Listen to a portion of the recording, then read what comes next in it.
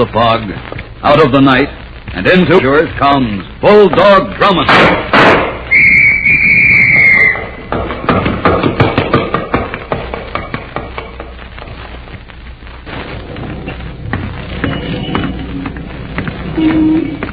This story begins in a surprising way. Listen walked across the street to where my new Buick was parked.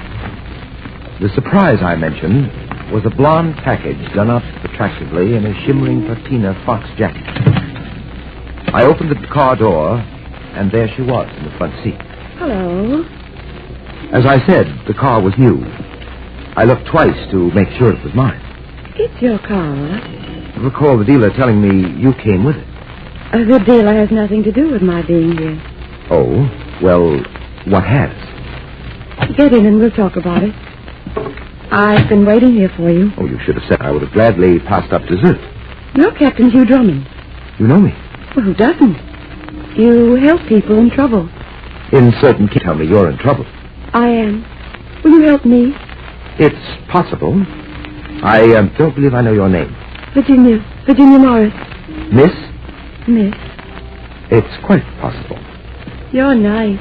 Oh, well, Virginia, My friends call me Ginny. Then friend to another, Ginny, just what sort of trouble is it? It's about the cat. The cat. This one. It's Ming Porcelain to go there alone. That's why I came to you. I didn't want him to see me going to your house. He warned me not to tell anyone. That's why I waited for you in the car. You will help me, won't you? Uh, first, you'll have to make some sense. Well, what is this all about? Ralph brought this cat back from China six weeks ago. brother. He was there on business. Ralph said the cat was very valuable. He said it's hundreds of years old, and he asked me to hold it for him. That was six weeks ago, as I said. The next day, Ralph left the house. I didn't hear from him until this evening. And your brother told you not to tell anyone about Oh, this. no, no, it wasn't Ralph who said that. It was the other man. And he spoke to me over the phone after Ralph. Ralph just said a few words, and then the man must have taken the phone away from him. He told me to bring the cat to him at 22 River Street, but he'd be in the doorway. I was to be there at 9.30, but you see, I was afraid to go there alone, so I came I'm to sorry see... I was detained, Oh. sir. A phone call came in and... Captain Drummond. Uh, Denny, this is Miss Morris. Uh, where did she come from? Believe it or not, she was waiting here in the car for me. A likely story. Ginny has asked my assistance. Oh, it's Ginny. Captain Drummond, we better hurry. He said to be there by 9.30 sharp. Come on, Denny, get in. Uh, you're sure I won't be crowding you, do you? You um, say the number was 22 River Street. Yes, that's right. River Street, sir? Why are we going to that wretched neighborhood? Because Miss Morris's brother seems to be in some sort of trouble. It's a matter of life and death. Life and death. That's the usual story, isn't it, sir? That isn't a joke. I didn't finish what I started to tell you, Captain Drummond. The man said to me that Ralph would be killed if the Ming cat wasn't delivered tonight. Ming cat. Sir, that's it. That's just what he said. The Ming cat. What are you talking about, Denny? The phone call which detained me, it was a man. He sounded oriental. I thought it was just another one of those crank calls we so often get. Denny, for heaven's sakes, come out with it. What is it? He said to forget about the Ming cat. It's evil. He said to those who touch it, it brings only bad luck and death.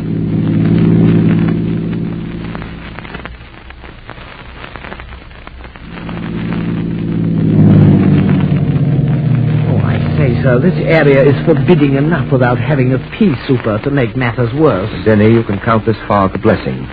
It'll until we get to that doorway up the street. Uh, Ginny, I'll take that china cat now. Oh, but you said that as long as the cat was in our hands, you thought Ralph's life would be spared. I'm reasonable. Now, don't worry, I'm not letting go of it until your brother is brought back safe and sound. You'd better let me have it. Mm. All right. Thank you. Come on, Denny. Dear Captain Drummond, this gives me the creeps. Frankly, Denny, I know just how you feel. Hmm, One thing to hear coming from you, sir. You know how I rely on you for moral support. Hmm. Number 22 is the next building. Ready? Ready, sir. Ah, Acton. I'll do the talking. That dubious pleasure is all yours. There we go. Why, no one's here. Perhaps he's inside. We'll have a look. Switch on your flash. Yes, sir. Well, look. The entrance is boarded. Down, Denny. Quick, cut the light.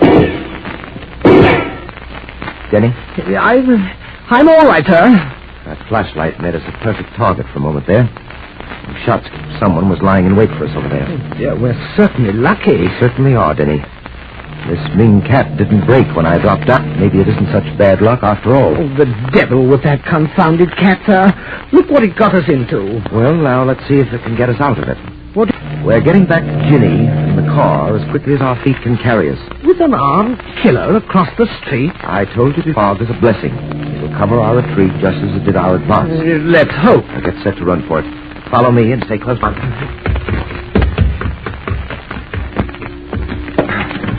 Well, we made it.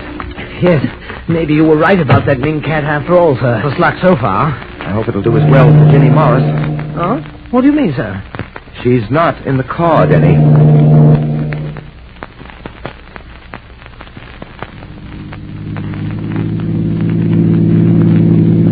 I wish I knew what this was all about, sir.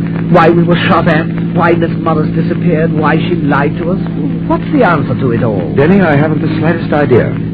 But I'm sure everything will be made clear to us in time. You really think this Ming cat will get us the truth? I think it will attract the fish we want. Now, let's go up to our apartment and wait for a nibble. Stay right where you are. Oh, sir, she she has a gun. Yes, and I'll use it if either one of you try anything. You see, Denny, what did I tell you? A bite. And we haven't even cast our reel. Give it to me. I'm sorry, I don't understand. I saw her with you in this car before. She gave you the cat, didn't she? The cat? Uh, Denny, I wonder what on earth this young woman is talking about. Well, I'm, I'm sure, sir. I, I, I hadn't the slightest notion. The cat that's on your lap. Oh, dear, dear. How clumsy of me. Hand it over. I, I'm terribly sorry, sir. I was sure I had it hidden from view. Yes, well, the damage is done, Denny. This young woman and her automatic appear to mean business. You'd better hand it over. Yes, sir. Here you are. Now, don't move. Stay right where you are. Where did you get this cat, huh? You answered that question for yourself a moment ago. Yeah, what'd you do with the other one? The other one? You know what I'm talking about. Now, where's the other one? Isn't this one satisfactory? Now, you can't fool me. I know. I know all about it. I'll show you how much I know about it. Here. What? Sir, she broke it. She deliberately destroyed that relic. Oh, stop it. Stop acting. You know as well as I do that it was a fake. You know it wasn't worth two dollars. Evidently, Denny, our bait wasn't as valuable as we thought. But it served the purpose. You tell me where the real one is. Tell me or I'll kill both of you. Well, that would be rather difficult, considering the fact that you neglected to release the safety on that gun you're holding. Hmm? Here, What? I'll show you what I mean. Don't you know it isn't stylish for attractive young women to sport these things? It just isn't being done this season. There. You look much better without it. Really. Here, Danny, take this. With pleasure, Let go of me. Let go of me. You're hurting my arm. The fisherman always holds tight till he lands his quarry. Right, Denny? Right, sir. Please let me go. Let go of me. Oh, I wouldn't think of it. After all, if I hadn't tricked you out of that gun, you might have eliminated Denny and me. Oh, no, you wouldn't have been harmed. It wasn't possible. This gun's empty. Not a cartridge in the chamber. Why, look, sir. She's telling the truth. The gun is empty.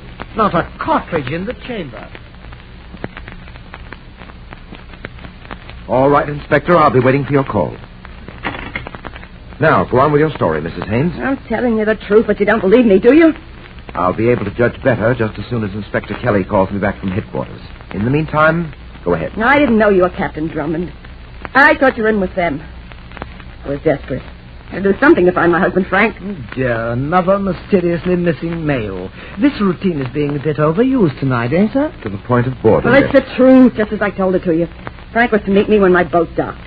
I was bringing the Ming cat back from the Orient. Frank had a buyer for it here. You went through that before. That blonde girl who calls herself Ginny Morris met you at the dock. She was supposedly taking you to your husband. Instead, you were taken to a hotel room where you were drugged. Yes, and when you awakened, the Ming cat was gone. You were unable to locate your husband. Then you received a phone call this evening. A man told you that if you waited in front of this apartment house tonight, you'd find both your husband and the Ming cat. Yes, yes, that's how I happened to see that woman and Captain Drummond in the car. A fascinating tale, but completely unbelievable. Uh, it's usually customary to report such things to the police. So I told you I did report my husband's disappearance. Yes, so you said. Uh, Mrs. Haynes, Yes, Captain Drummond. on two occasions you've mentioned the fact that you surmised that I was involved with them. Now, we know of the girl who calls herself Ginny Morris. What do you mean by them? Who are the others? I don't know who he is. When I was taken to the hotel room, there was a man there. He said he was a friend of Frank's. But he wasn't. I never saw him before in my life. I... I'll, I'll get it, Denny. Hello? Oh, yes, Inspector. I see.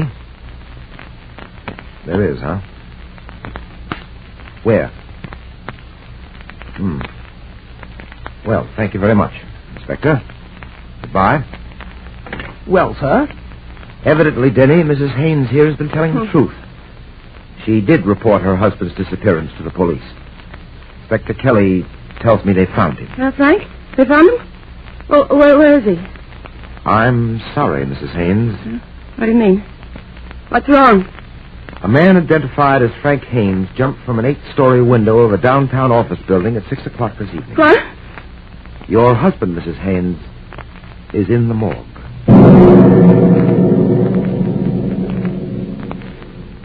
I'll return in a moment to continue our story. Frank Haynes is dead. We supplied the police with a description of the blonde young lady who called herself Ginny Morris. And then Denny and I accompanied Mrs. Haynes to the morgue. Captain Drummond.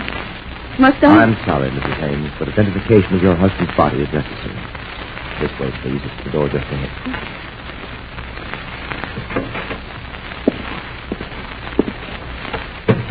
Uh, number five, then. Yes, sir. Captain Drummond. Mrs. Haynes, Captain Drummond, please, I it can't... has to be done, Mrs. Oh. Haynes. Now, just look, and then we can leave. All right. Oh. Captain Drummond, What is it? this... This body... It's not Frank? Captain Drummond, this isn't my husband.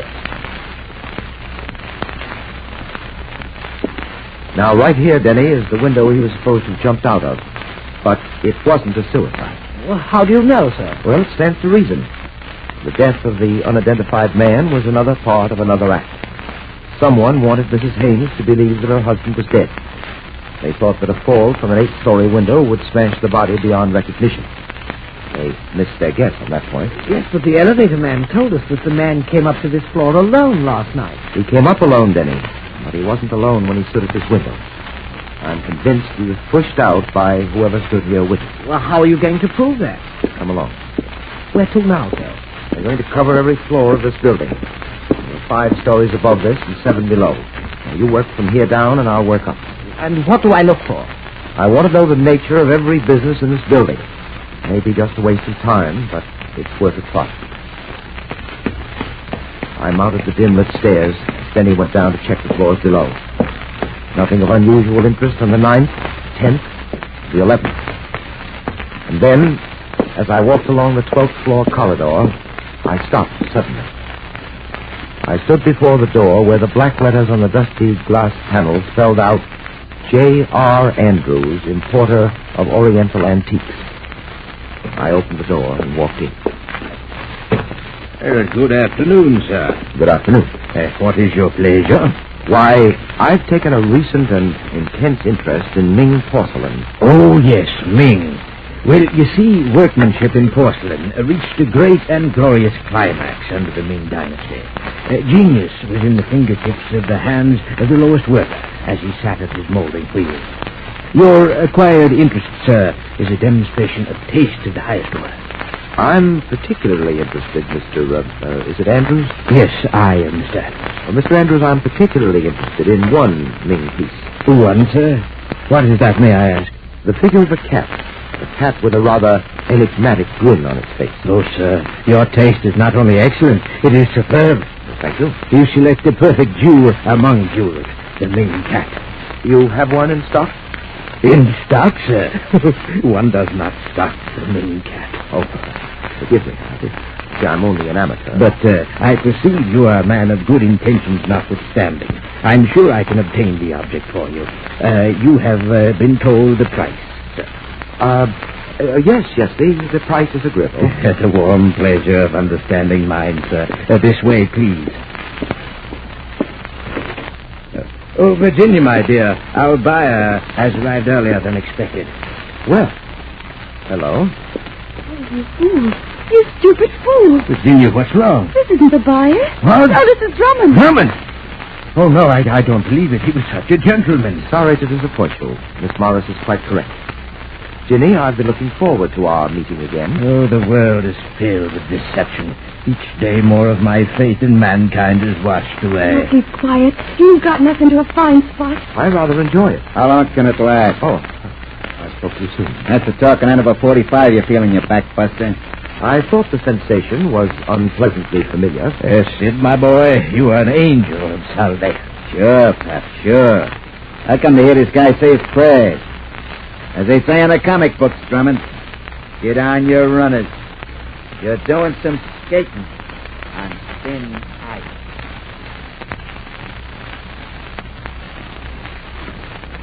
I say, Captain Drummond, you've no idea how shocked I was when they called me to come down to the hospital. Well, Denny, no more shocked than I was when I awoke and found myself alive in that wrecked car. You know, sometimes, sir, I feel that you have more lives than a cat.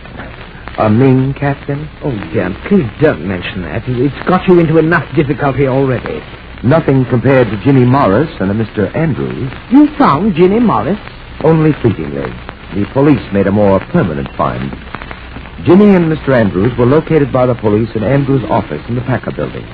They were both shot to death. Well, I don't understand, sir. Who is Mr. Andrews? And what was Ginny Morris doing in his office? I'll explain later, Denny. Just now, we're going to part. Well, part? What do you mean? You're dropping off into the men's shop just ahead. Oh, but I don't need anything in the way of apparel, sir. You will only stay in there until he passes. He? What the deuce is this about? The man who's been following us since we left the hospital. Oh, Someone's following us. Don't turn around. I want to scare him off. I'll meet him in my own fashion. There, there's the men's shop coming up. Keep your eye on me, but stay at a distance. You got that? Yes, sir. All right, take your oblige now. Good luck, sir. I continued walking. The man in the dark suit followed. I quickened my pace. He quickened his. I slowed. He slowed. Then I came to the corner. I turned the corner quickly and slid up to the building. I stood there, my back pressed against the stone wall, and waited. Oh, I, I beg your pardon. How careless of me. Hey, let go. What's the idea? I was about to ask you the same question. Hey, look, mister, I ain't looking for no rough stuff. Oh, that's too bad. You see, I'm just in the mood for it. You were following me. Why? Sure, I was tailing. You're Drummond, ain't you? Go ahead. This friend of mine wants to talk to you, so he sends me out to Eagle Eye you. His friend says I should bring you with me. Well, first he says I should make positive you're. So now you should come with me. Okay? Just like that, huh? Sure. My friend says you'll come quick as a bunny. What made him think so? On account of my friend says you're out bloodhounding for him. My friend whose name is Frank Haynes.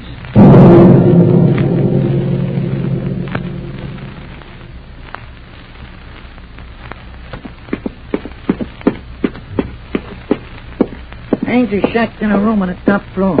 Anybody else live in this house? Uh, my friend Frank asked me to get him a private layout. My old lady used to run this dump for a boarding house. Here's Frank's room. Come in. Here he is, Frank. I brought him like you asked. Ah, hello, Drummond. I've been looking forward to this meeting, Haynes. However, I must admit it surprised me to have it develop in such an easy fashion. Well, I knew you'd find me sooner or later. Just thought I'd save you time. Well, that's thoughtful of you. Well, I'm that kind of guy. Of course, you realize your wife is eager to see you, too. So I hear. By the way, I saw your stand-in down at the morgue. I know. You get around fast. And sometimes I'm slowed down by unexpected obstacles. I ran into a rather troublesome one this afternoon in an importer's office in the Packer building. I know. Well, you seem to know quite a bit about what goes on. I manage. I went downstairs, Frank. Now, wait a minute, Al. Yeah, Frank? I promised to pay you off after you brought him here, didn't I, Al? Oh, sure, sure, Frank. But you're good for it. I can wait till... Nah. I want to pay you off in front of Drummond. I want to show him how I handle things. Okay, okay, Frank. Just like you say. Yeah, like I say. Don't move, Drummond. Why'd you go and do that, Frank? You said we was friends. The only good friends are dead ones. ah, now take a look at him, Drummond. Take a good look. That's the way you're going to be. And after you, that wife of mine gets it. You're busy with that gun, aren't you, Haynes? I don't leave loose ends around. It's bad, my business. Andrews, Ginny Morris, they were part of your business, too, weren't they? That's right. They muffed on you this afternoon. I don't muff. That's rather evident. This is what you were looking for, Drummond. This is the McCoy cat. I've suddenly lost all interest in that porcelain figure. A hundred thousand dollars worth. It's all mine. One hundred thousand smackers. No more trouble about it. When you're gone, no more trouble. So long, son. Oh! You all right, sir? Yes, Denny, except for my nervous system. Oh, thank heavens I got up those stairs in time. It certainly was a lucky thing you had me follow you. Lucky is much too mild a word, Denny. You've no idea how I felt when I saw you standing there in the doorway with that gun in your hand. I say, sir, look, Haynes isn't moving. Wait a moment. He's dead, Denny. But I aimed for his leg. And that's where you got him. Oh, but that shot couldn't have killed him. It wasn't that shot, Denny. It was the one that entered here at his heart.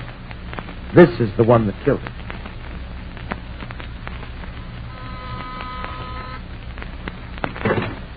Oh, it's you, Captain Drummond. May we come in, Huh? Mrs. Haynes? Oh, yeah, of course. Oh, I just can't believe it, Captain Drummond. I, I can't believe it. It's true, Mrs. Haynes. Everything I told you over the phone about your husband is true. But Frank couldn't be like that, no. Yes, he, he was a mad dog, Mrs. Haynes.